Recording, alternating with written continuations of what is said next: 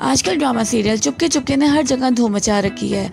इसमें मरकजी किरदार आयजा खान और उस्मान खालिद भट्ट अदा कर रहे हैं। दानिश नवाज़ की डायरेक्शन में ये ड्रामा यूट्यूब पर ट्रेंडिंग में नंबर वन चल रहा है। और पाकिस्तानी ड्रामा हिस्ट्री में ऐसा पहली बार हुआ है कि एक ही ड्रामे की चार मुख्तलिफ़ एपिसोड ट्रेंडिंग लिस्ट में है।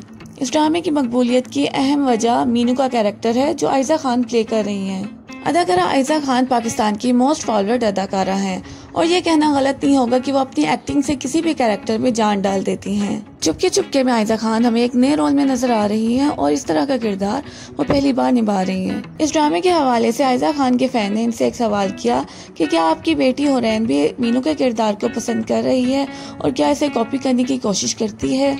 इस सवाल के जवाब में आयजा खान का कहना था कि ये पहला ड्रामा है जो हुरैन और आयान दोनों मिलकर मेरे साथ देख रहे हैं और वो दोनों इस ड्रामे को बहुत इंजॉय भी कर रहे हैं। इस वीडियो में आयजा खान की मीनू के किरदार के लिए की गई ड्रेसिंग और स्टाइलिंग इनके रोल के हिसाब से बिल्कुल मुनासिब थे। नो मेकअप लुक के साथ आयजा खान कभी कभी शलवार कुर्ती के साथ खुस्सा पहने हुए भी नज़र आई। इसके बाद अगर मीनू के हेयर स्टाइल्स की बात की जाए तो आयजा खान ने अपने बालों में लूज कर्ल्स करवाए और इसके साथ मुख्तलिफ़ इकसाम की हेयर पिन और हेयर चुपके चुपके के सेट से आयजा खान की कुछ तस्वीर, जिससे आपको डिफरेंट किस्म की कुर्तीज के आइडियाज़ भी मिल सकते हैं।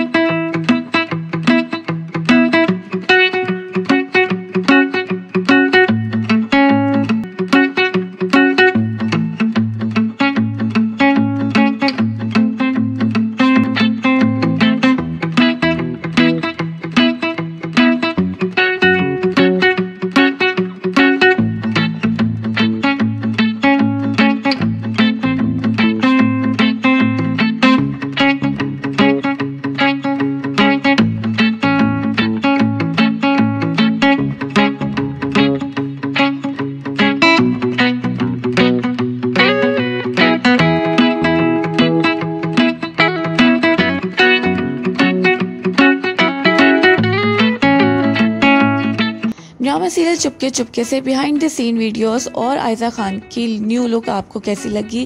कमेंट सेक्शन में अपनी राय का इजहार ज़रूर कीजिएगा।